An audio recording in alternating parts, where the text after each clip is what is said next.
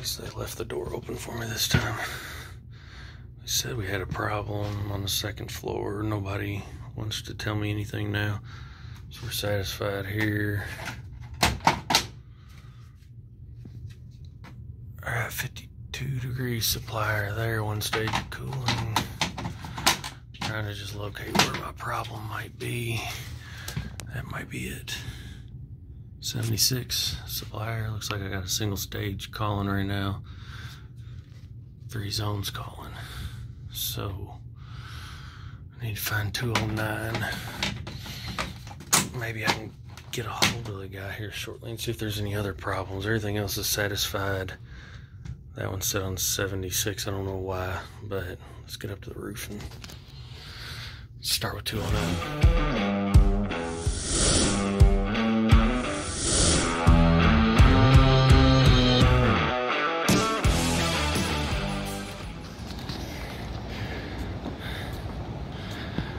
Think these are split up. I think most of the front is first floor. That's 207.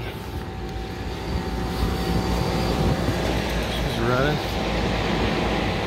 Coils don't look bad. These guys actually do some maintenance out here, so let's see. Try to find 209. This one's running, that's probably not it. Guess I could have lost a supply air six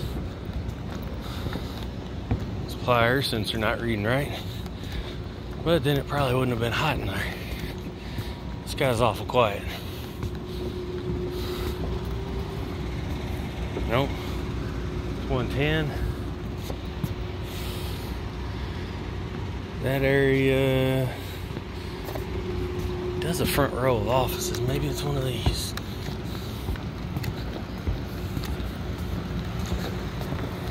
Least they're labeled good. 107.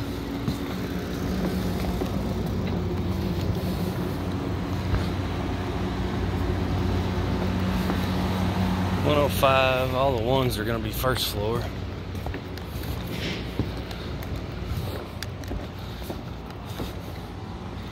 Ah, 209. Alright. We got nothing running. No blower, no nothing. So let's pop our panels and see what we got inside. Nothing too out of the ordinary. Low voltage isn't tripped.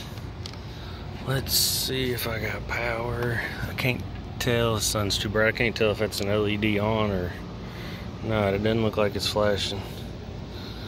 Let's see. Here's my three phase in. I ain't got no power. Well, that's why she ain't working. That'll do it. We got fuses.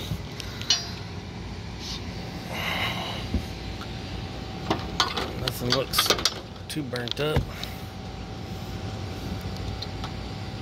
Let's see if we got power coming in.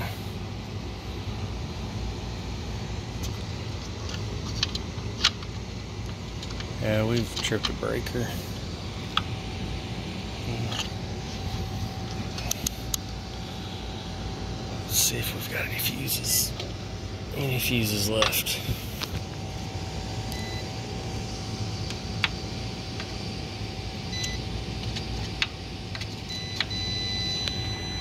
Alright.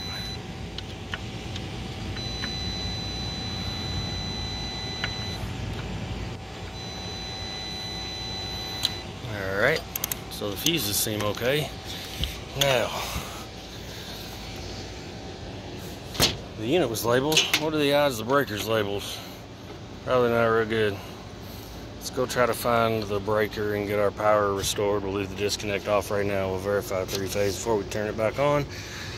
And then try to uh, determine what the hell happened.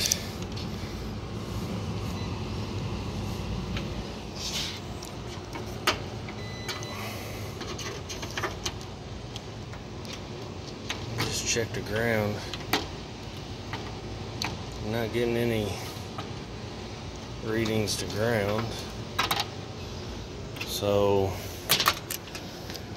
I don't know. We'll have to ohm out the blower and ohm out the compressor. Those will be the those will be the things that would have caused the breaker to trip. Oh, nice plastic fan, fan blade.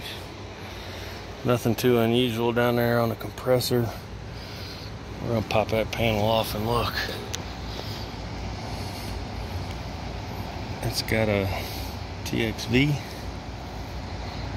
Interesting, these are newer air units, so I haven't really dealt with too many of them, but let's go find the breaker first and we'll go from there. So I didn't find my breaker yet. I don't have access to much, so I'm not gonna go searching because I still haven't talked to the guy. I got a dusty blower, but it's spinning. It's one of the ECMs.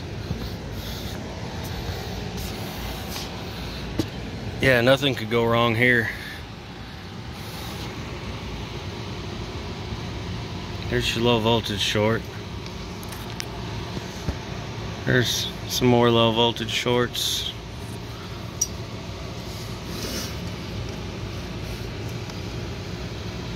Yeah, we need to get some of these secured a little better. There's an unloader on the back of there. And there's your cap tube rubbing. What? Carrier? Carrier's got a cap tube that's rubbing? No. It can't be. It can't be. That took two seconds. And that's not gonna rub. Imagine that. Luckily, I don't see any major problems.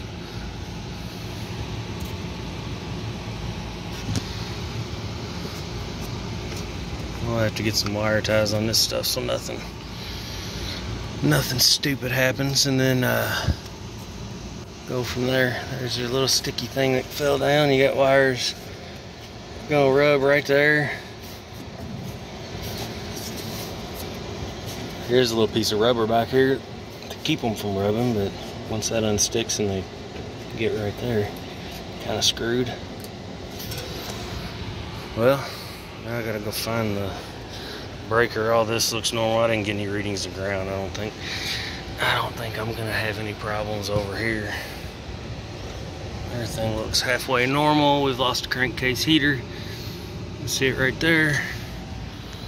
I'll go ahead and note that. Um, I guess hell, crankcase heater could have caused the damn breaker to trip. You'd think a fuse would be blown, but I don't know. So let's go locate our breaker, get some wire ties on some stuff here, and see what we got. So we got a few things secured. We got those off the lines. Everything there. I don't like that, but I'm not going too far with that. I don't like that either, but will probably get them up there with two wire ties. There's your crankcase heater. She gone. I went ahead and pulled the wires on the other side. I'm waiting on the guy to get here to take me back where the breakers are. So I got these disconnected. Um, I still haven't got a hold of anybody. The lady up front's apologizing. I said, hell, I get paid by the hour. If they want to pay me to sit around and wait to find their problem, I will. I have a feeling there's not going to be a whole lot wrong with this guy. I have found previously these units got replaced a couple years ago and the roofers did some of this stuff you can see where they've siliconed so I don't know if the roofers disconnected something but I found a loose connection in here one time because this is my main power and that was on one of the other units it was on one of these guys back here I vaguely remember that. It was it was recently after the roofers had been out and they installed the units. But anyways, I'm just waiting. I got a sea of units, so I'm not sure if they've got any more problems. I still haven't talked to the guy who called it in, so I'm just kind of waiting for the guy that's coming to give me access to the back area. They got a back warehouse area that I think is where all the breakers are. So I'm gonna have to get in there and find the breaker and then we'll go from there. I think this guy's probably gonna be all right. Compressor ohmed out okay. I'm not getting any dead shorts to ground, so maybe it was just that crankcase heater. All right, so found the breaker. Guy finally showed up. 480. It was 30 amp breaker. Uh, come on. 480. 480. So I got three phase coming in now. Oof. I didn't see that initially. Bad. I pull that wire out of there. Let's get that corrected before we turn it on. Let's just redo all of them. I shouldn't have anything down there right now. All my knives are out, so I'll just verify to be safe. Um, let's get those wires fixed, and then we'll. So we'll kick it back on. The compressor ohmed out okay. I didn't do anything with the blower motor, but it spins. I can't imagine it would have tripped the breaker. I would expect the fuse to be blown. It's weird you tripped a 30 amp breaker and didn't blow a 25 amp fuse. So I'm gonna suspect a power surge or something weird happened. Uh, maybe a single phase condition for some reason.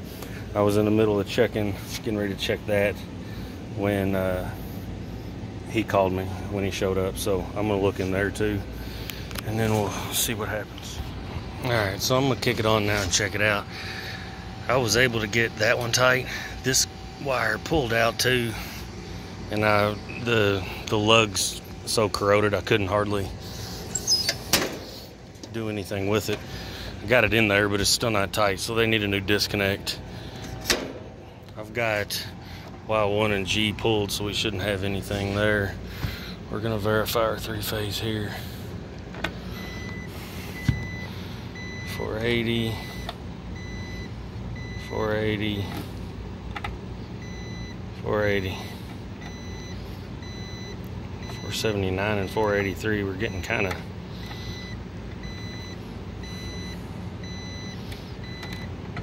that one leg's just a little bit lower.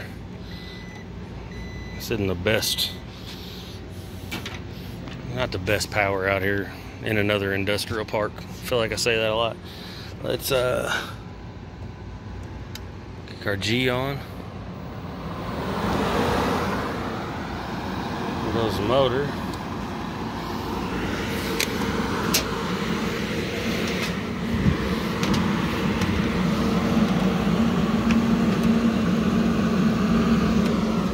Do that without breaking our plastic pieces.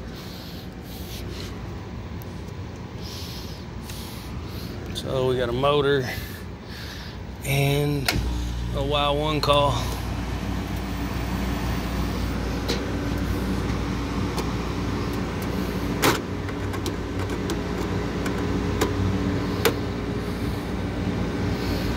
Like I said, that uh, crankcase heater could have been it. I don't know, it's a little weird. But I'm not gonna have an answer for the breaker tripping and not blowing a fuse, except for maybe disconnect had an issue as well. Obviously it has some kind of issue. I got my panel on the other side open.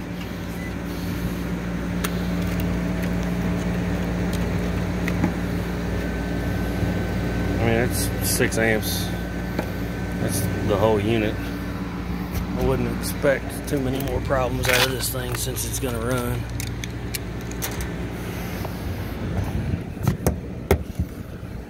We'll get a temp drop on it. Let's go ahead and do that. Looks like I got that partially open. This all feels good. We got heat coming out cold suction line. We got our rub outs stopped. I don't see any reason to put gauges on this guy unless something's weird with the temp drop. Ahead and get a reading on that return. And we'll close this guy for now, maybe.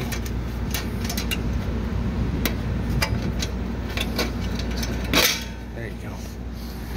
So, see what kind of return we got. Well, uh, this might have been down for a while. That drain's dry. So, we'll make sure the drain is clear and drains, and we're just going to watch it for a little bit. I think everything's going to be okay. Yeah, can't see. We're doing about 80 coming in. Come on.